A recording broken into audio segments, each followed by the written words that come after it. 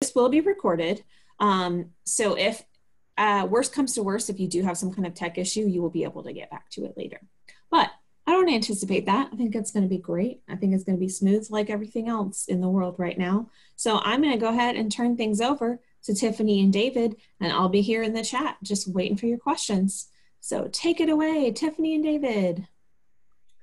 I'm to lose my video now because nobody wants to see me and because I don't have children cute cats to run across the screen. So, um, so yeah, there goes the video. Hi, all. So, uh, Tiffany and I are going to talk a little bit about uh, all the work we and several other people have been doing on getting us migrated from Content DM to Islandora. Um, some of you have mentioned the adorable lobster who's on screen right now, and that's the Islandora mascot. Uh, Islandora, we'll get there later on, was developed on Prince Edward Island in uh, the Canadian Maritimes, and they have lots of lobsters there apparently. So, so there you go. Um, so, who are we? I'm David, and Tiffany is. Oh, hello. I'm Tiffany. I am the Discovery Cataloger in Technical Services. And y'all probably knew that, but I thought we should all we should give you voices and stuff too. Um, so the agenda for today is I'm going to talk a little about the background and how and why we ended up choosing Islandora and uh, how we kind of got to where we are now. Tiffany is going to talk about uh, discovery and metadata, which is a major, and I would say maybe the major and most exciting part of the migration project. And then at the end, we'll talk for a few minutes about uh, going live with it. So, um, how did we get here? Um, how did we? Uh, he said in his best David Byrne voice. Um, well, let's see. We started out many years ago, actually, long before I was even working at the university libraries with homegrown systems, uh, specifically uh, two big uh, projects that used uh, systems that were built in house were Civil Rights Greensboro and the Women Vets Historical Project, which have both been online you know, actually longer than I've been here. I came in at the tail end of Civil Rights Greensboro, so I did a, a work on the original launch of that to some extent. Uh, these are really great sites. They were early on in the game.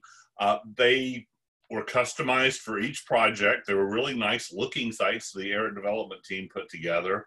The only downside is they sort of meant that anytime we started a new project, we had to start from scratch with a new a new site and a new interface. Um, and at the time, we were not really set up for mass digitization. They were more up for kind of really curated, smaller boutique type projects, which we'd almost look at as digital exhibits now. Now, they could have been reworked, and there was talk about doing that apparently, but ultimately, at the time, and again, this was slightly before I was on the scene here, we decided to go with a commercial pre built solution.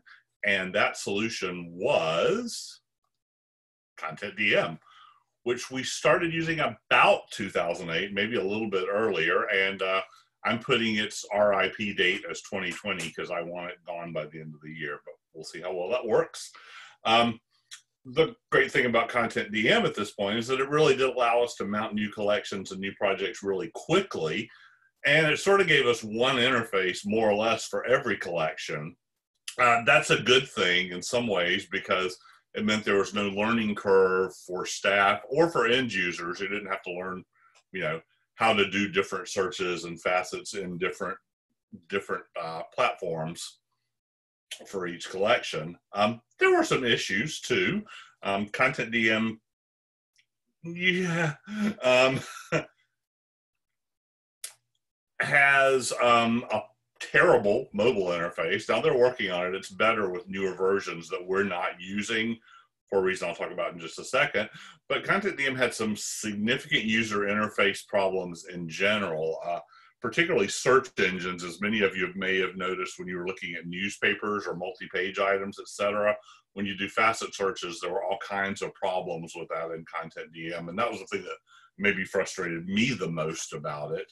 Uh, to make it worse, a couple of years ago, OCLC moved to an entirely new hosting model with Content DM, which meant we were going to be forced to do cloud hosting, in other words, hosting through OCLC.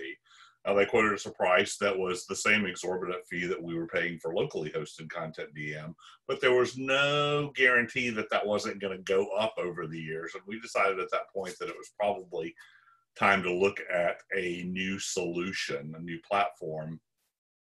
So we did what librarians do. We formed a committee. Um, the committee was a several people from ARIT uh, representing each of the uh, units in ARIT. We also had Beth Ann from uh, SCUA and Anna Kraft from Tech Services. Uh, and we should have had someone from ROI, but didn't. Um, the committee got together though and weighed several packages and ultimately went with Islandora. Um, it was a good open source package. Uh, was being used uh, UNC Charlotte had recently migrated to it. It's being used at the University of Pittsburgh, the uh, Louisiana Digital Library, lots of Canadian universities, which, of course, as you know, makes it better than anything else because, well, Canada. Um, but we did weigh several other packages as well. But we ended up uh, deciding that Islandora was the way to go. The migration to Islandora has not been seamless. It's been in process for almost two years now. Uh, Donnie and I first went to Islandora Camp, which really didn't involve tents, um, in Halifax, Nova Scotia in the summer, almost two years ago this week, I think, uh, in Halifax, Nova Scotia in the summer of 2018, where we learned everything about it.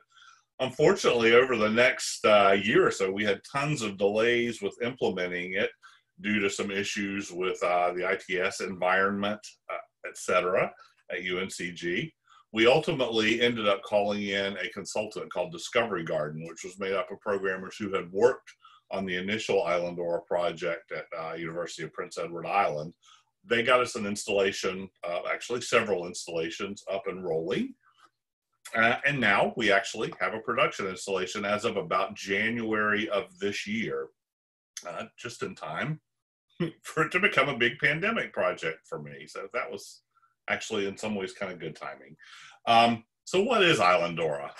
Well, here you see boilerplate text from the Islandora website, but basically Islandora is an open, open source content management system made up of three primary parts. There's Fedora, which I think a lot of you have heard of, which is the repository. That's where the actual objects and the metadata for the object live and are stored long term. Uh, Fedora also has some digital preservation aspects to it as well. Um, then the next layer uh, is Islandora, which is the actual bridge between Fedora and another program called Drupal, which is a content management system, uh, just like WordPress, which I'm sure most people would be more familiar with. Drupal is the thing that actually builds and pushes out the website. Uh, it takes the Fedora, the uh, materials that are in Fedora, and assembles them into a uh, into a website. Islandora is the bridge between Drupal and Fedora that allows that to happen. Um, Solr, which is the cheese in the Great Islandora cheeseburger, um, because it's optional, is the search engine that we use to search all that data within Drupal. So it's built on several open source platforms working together. Um, it is free and will always be free. In software terms, defining always can be a little tricky, but um, but yeah, um, it was developed at the University of Prince Edward Island, but now there's a big open source community around it, which is actually a pretty a pretty uh, active open source community, which is a good thing as we get into the pros and cons. Um, pros for Islandora are that it is very open source, so there's no initial payment for it. We don't have to pay to use the software hold that thought for a minute. Um, Islandora is also very customizable. It comes with a dramatically better user interface. We can use any standard Drupal template um, or build our own Drupal template, which means there's a lot of variety that we can use in the way that we can make it available to users. Uh, we can use responsive templates that make it work a lot better on mobile interfaces than Content DM ever did, and we're doing that. Uh, it allows for collection hierarchies, which I'll talk a little bit more about in a minute. But there's some cons too, and you notice the first two cons are the same as the first two pros because open source software is free, but as I'm sure many of you have heard, it's free in kind of the way that free kittens are free. Yes, you don't pay any money right off the bat, but um, yeah, there are expenses with open source software. Um, uh, as we found out, a lot of expenses is we actually had to bring in a consultant uh, because of our uh, operating environment here. Um, very customizable can be a little bit of a problem as well because you don't want to make things too customizable. Well, there's some problems with having too many options and building in too many too much variation between collections. There's a big learning curve with Islandora. You know, it's uh, and a more complex back end. And also, since it is open source, you know, there's not a company we go to saying, "You sold us this software, now fix it." Um, though there is our consultant and there is the Islandora community, which is very robust, and I've learned a lot from that. As has Donnie, who's done a lot of uh, a lot of really great work on this as well. So moving into Islandora, oh, and the lobster is the mascot, as I mentioned, which is where we get the whole lobsters and free kittens part of our presentation title today. So, uh, kind of the great thing about moving into Islandora is it gives us a chance to sort of rethink our collection organization all the way around. And uh, specifically with respect to hierarchy, context, and topic tags slash metadata, and some examples. Uh, this is where we're currently going with the front page of the site. As you see, it's very topic based, uh, based on actually the four priority focus areas for our digital collections, which are local and regional history, UNCG history, visual and performing arts, and Women Vets Historical Project. We've also got a highlights section, uh, which are some you know, if we have a project uh, uh, like a textiles teachers and troops, which may fit in a lot of categories, et cetera, we can highlight that collection on those pages. There's also, as you see up here, a page that will take you to contributing institutions, uh, which is kind of nice. That's another level of hierarchy that we didn't have before. Content DM sort of gives you a list, um, and you can make landing pages, but it's sort of clunky. Uh, Islandora has a built-in hierarchy, so we can actually assign things to collections based on the contributing institution or repository. And we work with a lot of local partners, so that's kind of a good thing. It also gives us a chance to highlight individual collections more, more distinctly than we could in Content DM. So instead of a list of 4,000 women veterans historical project items, we can break it down and you can actually have a little better interface where you click in by a via collections or via the individual veteran, for example. Um, that was a big point, particularly with the Women Vets collection, which is why I highlighted it here. Um, another great thing is that it generates automatic collection level landing pages. Again, that was something we could do in Content DM, but it was kind of clunky. Um, and the really, really exciting thing for me, and uh, Tiffany's going to talk a lot more about this going forward, is uh, that we can combine better faceting along with more user-friendly metadata. So this is basically a chance for us to rethink how we present our digital collections and make them a lot more user-friendly. Uh, you see some of the faceting here uh, by types of items, for example, by topics, which is distinct from LC subject headings because we think they're more user friendly for some of our collections uh, and can be on some levels a little more granular as well, or on some levels actually a little broader where that will be uh, where that would be a, a bonus. But we also have a traditional subject headings uh, search as well, or a facet. Um, it allows us to do things like integrate transcripts a little more fluidly. So a PDF transcript of this letter that you would see uh, on the side. And uh, it also gives us the Internet Archive book reader so that you can do uh, page flips in books. Uh, in practice, we're finding that only works well with certain types of content, manuscript collections and photos, obviously, not being a good example of that. But we're using the Internet Archive book reader where we can. Um, and I think you'll see from these screenshots, so it's a lot cleaner interface than Islandora has, and it does scale to mobile an awful lot better. So let's get into some of the nuts and bolts then. Um,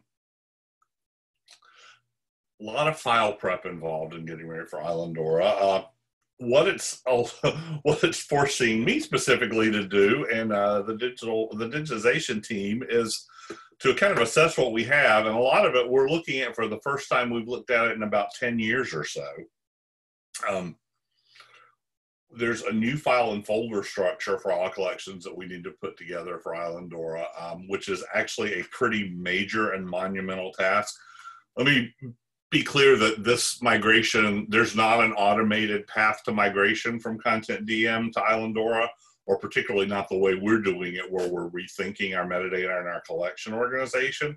So we're actually manually going through 10 years worth of stuff, which is you know, uh, 60,000 items in Content DM and something like three quarters of a million digital files. So we're touching a lot of stuff as we do this migration. Um, we had a temp working on this for a while. Uh, many of you will remember Wilson Miracle, who did who got a lot of this file prep work done a year or so when he was working as a temp. Uh, Kathy, Erica, Charlie, Tiffany, Callie, all of us have been working on various aspects of this over the past year um, getting the file prep done, getting files renamed, files moved. A lot of stuff has had to go into this. It's but it's been kind of fun, and as again, uh, we'll end up with something that's a lot more consistent the next time we have to do this than um, than dealing with the way our processes have changed over the years and through uh, multiple content management systems. So it's kind of a reboot. Uh, some of the tools we're using are bulk rename utility, which is a great program that allows incredible level of control over moving and batch renaming files. And that's a big part of what we do. Uh, really, you, this is the Swiss Army knife of file management for Windows. You can do some incredible things with uh, bulk rename utility. Another program called FileToFolder.gui, which will actually take a bunch of files and put them in folders with the same name or if you have a list of multiple files, uh, it will it will associate them all together under folders with the same name. Uh, we also use Adobe Bridge. Um, since I've been working at home, since this is my pandemic project, I'm actually able to use some Mac tools as well. Uh, and we're also using an assortment of lovely Windows batch files. Um, these things have actually saved us weeks and probably months of work. So the automation tools are a big part of what we're doing. Um, with my end of the nuts and bolts, I'm going to pass it over to Tiffany now to talk about metadata. Oh, hello. So as David mentioned already, um, this migration gave us an opportunity to not only do an extensive metadata cleanup, but also re-examine our metadata holistically. So it's fine. One concern with our metadata was the need to switch schemas. In Content DM, we use qualified Dublin Core for our metadata, and migrating to Islandora required us to switch to another schema called Metadata Object Description Schema, or MODS. So MODS is a much more granular schema compared to Dublin Core, meaning that we need to make our existing metadata more detailed. So one of the first steps in the preparation process for the migration was to create a crosswalk between the qualified Dublin core used in Content DM and MODS. So to help with the process, we consulted the Library of Congress MODS DC map to help create our crosswalk. Next slide, please. So here's a quick screenshot from the Library of Congress MODS DC map to help illustrate the granularity of MODS. As you can see, it's not always a quick, easy one-to-one -one comparison for every field. So we had to figure out where we can enrich our metadata. At least by moving to a more granular schema instead of the other way around, we didn't lose any detail in our metadata. Uh, next slide, please. So here's an overview of our metadata workflow for this project. First, we exported the metadata out of the old system, did some cleanup, worked on switching schemas, and finally changed the format that our data is in. Next slide, please. Once the team settled on a crosswalk and developed a guide for changing our metadata fields, then we can actually begin the metadata workflow. The first step in this process was to export all of the metadata out of Content DM and into spreadsheets. Second, we then began the metadata cleanup process within Excel. Next slide, please. So for the cleanup process, we perform metadata consistency checks in Excel. We checked for things like missing values in the metadata, ensuring that the dates were in ISO format, removing brackets where needed, and deleting any stray semicolons. After that step, we began the mods mapping phase where we could switch the Dublin Core metadata to mods and make all the necessary adjustments to the fields. Within the spreadsheets, we were able to complete specific metadata enhancement tasks that were just simply easier to do in Excel. So for example, we needed to combine all the fields containing personal and corporate names, which were all separate before. So by using the concatenate function, we were able to combine names where needed without having to do each single one manually. Plus, we included MARC-related terms for each name as an required expansion for the MODS metadata profile. We also needed to switch control vocabulary terms to new ones in specific fields. So for example, we mapped the Dublin Core type field to the MODS type of resource field. And with that change, we moved from the DCMI item type vocabulary terms to one specified by the MODS guidelines. Next slide, please. So we imported edited spreadsheets into OpenRefine and completed the field transformation tasks that are just trickier to achieve in Excel, such as splitting a single field into multiple ones based on a designated separator, or using the Google Refine expression language or GREL to transform dates. So for those who are unfamiliar, OpenRefine, or formerly Google Refine, is an open source program that is great for cleaning up and working with medium to large size datasets. It runs on PC through a web browser, so it's not ideal for extremely large sets of data. If you try to do so, it'll likely crash. Um, next slide, please. So the next step in the process is to export our data out of OpenRefine and into one single XML file. Once the cleanup and field transformations are complete, we used OpenRefine's templating tool to generate the XML file containing all the metadata for an individual subcollection. The XML template that we use for this step of the workflow is adapted from one created by the University of Toronto Scarborough. Next slide, please. After we finished working with OpenRefine, we took our shiny new XML file and moved it into Oxygen XML Editor. Here we split the exported XML file into multiple ones. To do this, we ran two XSLT adapted from our colleagues over at UNC Charlotte. The first transformation removes any extra blank lines in the code, and the second transformation creates separate files for each individual item in the subcollection. And the results of all of this are individual item level XML files that are ready to in, for ingest into Islandora. And now I'll turn it back over to David. Okay, I'm David.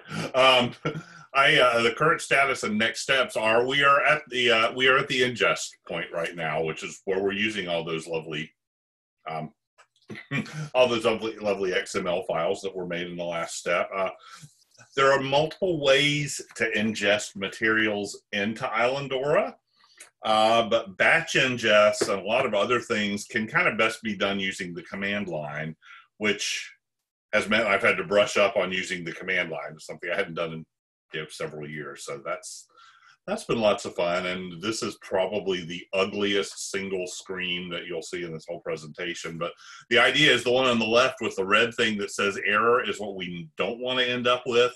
The one on the right with all the lovely green things that say okay are what we do want to end up with. Um, that was kind of an oversimplification, but yeah, you get where I'm going with this.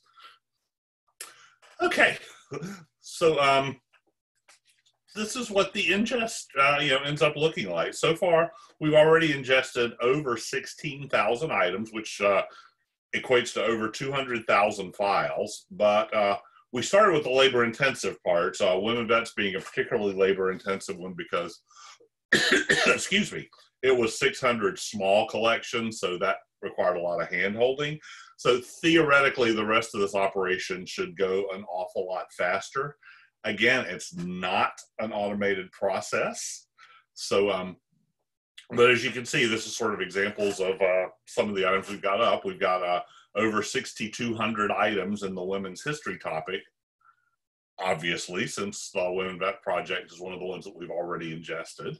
Um, photographs are a big part, but also newspapers, newsletters, pamphlets, correspondence. Um, and you can see some of the actual women vets collections and see that it's a much nicer interface because you know, you actually get to see an image of the veteran and uh, you can click on the link and actually go to material related to that particular veteran. And it's like that for all our different manuscript collections as well. Um, you know we can have representative images etc and there's just a little more attention to the hierarchy and the structure of the of the physical collections. And that's kind of what we work toward with digital collections is that whole context thing making sure that the actual digital collection is as close a representation as possible of the physical collection and also that we actually get that context in there with the collections. So uh, we have already ingested our community collections and community collections are defined as collections that community members, community organizations, it could be schools, churches, etc., allow us to digitize, but then we give back. There are a lot of collections like that, um, particularly uh, prominent in our community collections are the Well Crafted NC project uh, that documents brewing history, the um, Pride of the Community collection, which documents LGBTQ plus history in the triad, and the new uh, Black Lives Matter collection that we're working on as well. These are mostly community collections where we don't actually physically have the stuff. People donate to us either in physical or digital format, and then they get to keep their stuff. Um, those have mostly been ingested, as have most of our partner collections. Uh, as you see, uh, the collections we've worked with A&T, Bennett, Guilford, the, all the colleges with Cone Health, though more of that coming, uh, and the Greensboro Public Library. We've already ingested all the UNCG library stacks or book materials and a lot of the uh, vertical files that we scanned before we got rid of our vertical files. Um, we have already ingested 99% of the Women Veterans Historical Project. There are some stragglers I'm working with, and 95% of our manuscript collection. So we've got a pretty, pretty good array of content already ingested into Islandora. Um, still to add, however, are the University Archives collections, though I've actually plugged in the Carolinian collection right now, which is a big part of that. Um, our UNCG special collections and rare books which uh, includes uh, the American Publishers Trade Binding Collection, as well as all our cello music collections. Those are those are in the process of being ingested right now. Um, and I think I'm required to mention at this point that UNCG does have the largest cello music collection in the world. Uh, there are one or two remaining manuscript collections that have not yet been ingested, and we have not ingested our collections uh, our significant amount of material that was digitized for the Greensboro History Museum yet, because the archivist at the Greensboro History Museum is kind of taking a holistic look at their metadata as well and making some tweaks and changes before we ingest their content, which is great because that means she's doing that and I don't have to, which makes me very happy. Um, wow, we're running a little short. We're running a little a little fast here, so we'll probably have a lot of time for questions if you want us to. Um, so our go live date and hold me to it. Sorry, that was uh, that was supposed to be a topical reference, but I look at it now, I think it's just kind of dumb. Um, our target date for going live is going to be November of 2020. I hope that we'll be going live on 2020. There are a couple things that I need to deal with, as well as getting things into the material, into the collections. Uh, I'll be working with Tiffany probably a lot on these as well uh, which is making sure that all our content that is currently ingested into the Digital Public Library of America and the WorldCat gets mapped properly to its new locations in Islandora. Um, that's going to be a big part, and you making sure that everything works right, having some, you know, user testing and letting people look at it and tweaking things that we need to fix, etc. Um, but hopefully, uh, I'm pushing for November as a start date. We'll see where we go.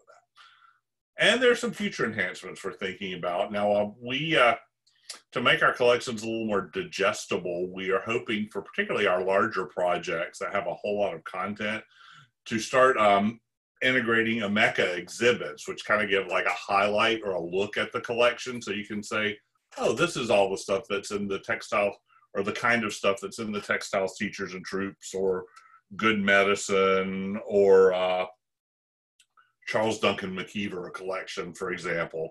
So integrating those Omeka exhibits, uh, possibly finding ways to integrate our digital collections with our finding aids, which I think is a big uh, a thing that I really want, and I think that SCUA particularly really wants as well. So uh, hopefully we will be able to come up with a good way of integrating these uh, to make the finding aids more useful and the digital collections more useful because you know you can go back and forth between them easily. And ultimately, we'd like to end up with some kind of cross search for other triad history collections too, the ones that are at different universities, et cetera, so we can kind of bring them all together into a big portal, which is, if you will, kind of one stop shopping for triad history collections. Uh, we're looking into some other things as well, like uh, what other things we might be able to use in uh, Islandora for, maybe an experiment for things like uh, institutional repositories or other digital collections as well. And um, that's really kind of all I have. Um, Tiffany, do you have anything else you want to add? Um, I, really early. I think that pretty much covers the bulk of the whole process. I think we got the highlights. Okay. I'm gonna uh, stop sharing now so I can go back in and see chats and that kind of thing. and. So, uh, we do have a couple of questions. Um, one from from Catherine is, what if that doesn't happen? And I think this means the date. Uh, what if you don't meet the date deadline? Maybe um, Catherine can clarify. Um, but is there a bet going on? Is there is that is a question from Catherine? so I think the big question you're looking at is if there is a pool that people could potentially win money out of. To which I would say no, but maybe there should be. Excellent. If anybody, if anybody wants to start one, um, you could you could count on me to chip in. Excellent. Um, all right. Anna asks, what is the biggest surprise you've encountered in the transition to Islandora? Um, I'll jump in with mine, and Tiffany, you can jump in with yours. Mine is that um, how logical it all started seeming after I worked with it for a couple of months, and I think uh, as much as I don't like to give any credit to the pandemic for anything, the fact that I've actually been working on this at home without interruption for the last few months has actually allowed me to interact with the software a lot better, and we've become one which sounds really creepy, but um, but you know, it's it's starting to make a lot of sense to me, and it's actually a very logical and rational, rational bit of software. Um, I'm also uh, less happy surprise is learning how inconsistent some of our file naming structures have been over the past 10 years or so. Less so than I think a lot of other places, but still not as consistent as I would have liked to make the transition easy. Tiffany?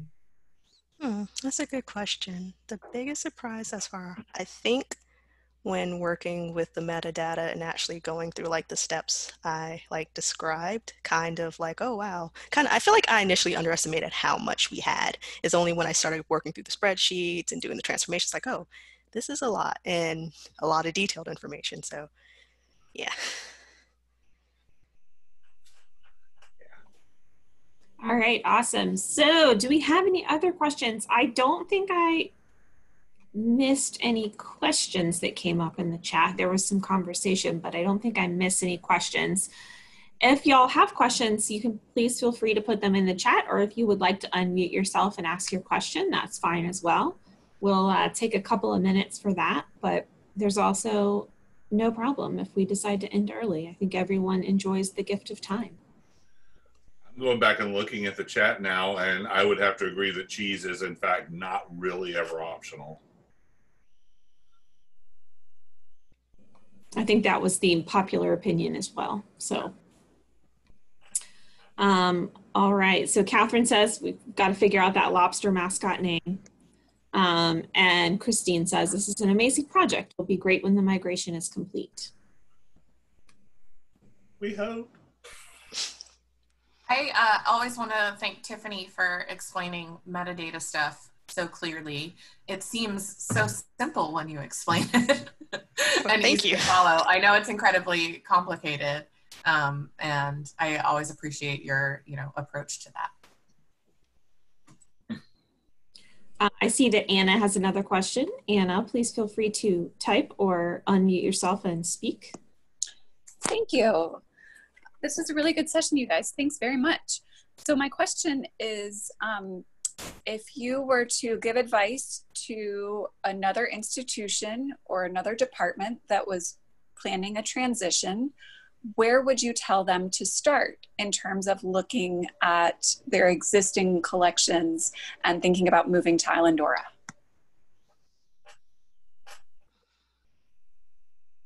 Wow, that's hard. Yeah.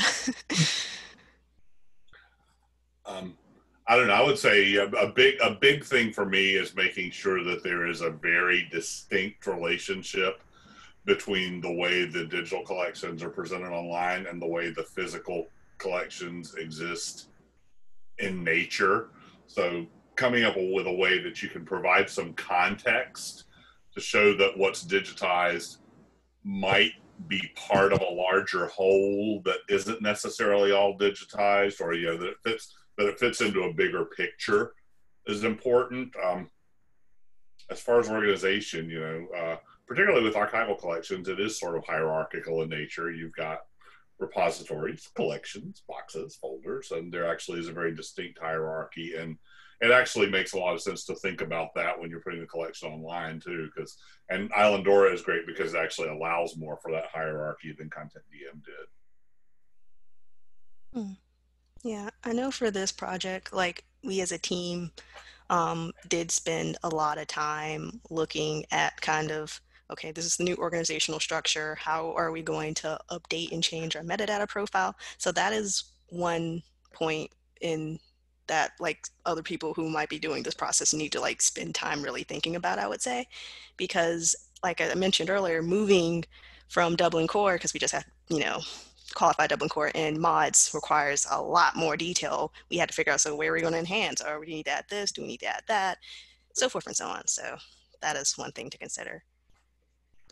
Yeah figuring out what in that process is actually useful to end users and what part isn't because ultimately that's the goal. I mean, you know, obviously we are we are partially the audience for some of these collections, but ultimately the end user is the primary audience. So they've got to be first and foremost, you know, what makes it work better for users rather than what necessarily makes it work better for us. Yeah, I agree. And also in that same vein, um, we did also look at kind of local terms for our collections to also help with you know, enhance accessibility and people being able to browse through our collections and find the topics that they're interested in.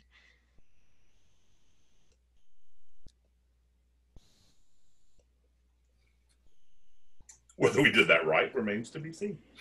We do the best we can. I think we're all doing the best we can, particularly right now.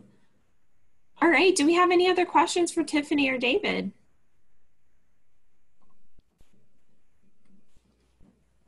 in case anyone is going to have to head out, I'm going to put in our assessment form link. Y'all know that I really appreciate it when you fill this out. It's helped us um, make some choices about different sessions that we've had. Um, but I just want to say thank you so much to both David and Tiffany, especially for agreeing to uh, present again to the ULVLC. Um, we have lots of fun stuff coming up with the ULVLC, so I hope you have been uh, keeping up with those uh, emails that I send that I know everyone just anticipates weekly. You're just waiting for those. And there's also the ULVLC LibGuide that you can always visit. I'll put that in the chat. Oh, thanks, Patrick. You took my self-deprecating joke and made it something heartfelt and heartwarming. All right, that's our LibGuide. So you can take a look and see what we've got coming up. We've got two more sessions this week. We've got, by popular demand, Letters from SCUA Part 2. Uh, if you didn't attend the first one, it was a delight, and I definitely recommend looking back at that one. Um, and then we also have another Python playground. Those are small but mighty and very popular with the folks that like to attend. So if you have any questions at all about the ULVLC, please feel free to contact me. If you've got an idea for a session, just know I'm always open to hearing about it. Um, and I really appreciate everyone's time and energy in both presenting and participating today. So I really appreciate all of you. I hope you all have a wonderful day and a wonderful week. And I'm going to go ahead and stop the recording. Thank you all.